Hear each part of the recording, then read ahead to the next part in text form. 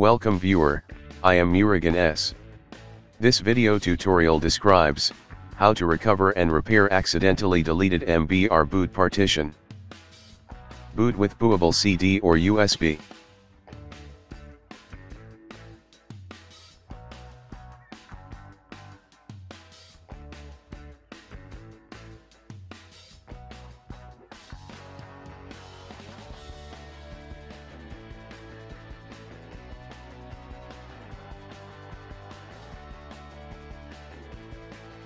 Click Next, click Repair your computer, click Troubleshoot, click Command Prompt. Type disk part.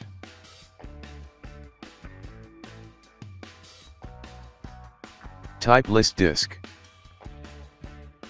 No star under GPT indicates the system partition type is MBR. Type sel space, disk space, 0. Type list space, vol. There is no system volume. Type list space, part, there is no system partition.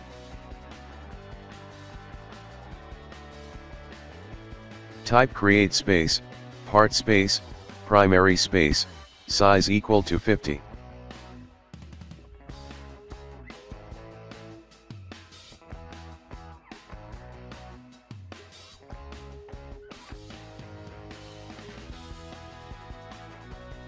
Type list space, part.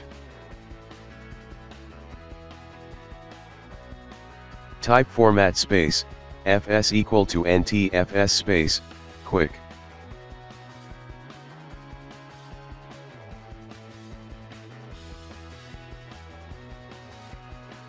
Assign, active.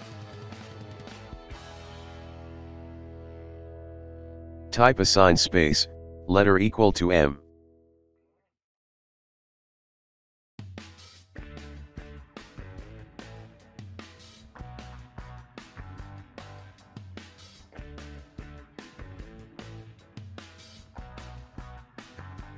Find your Windows installed drive, in my case D drive is Windows installed drive.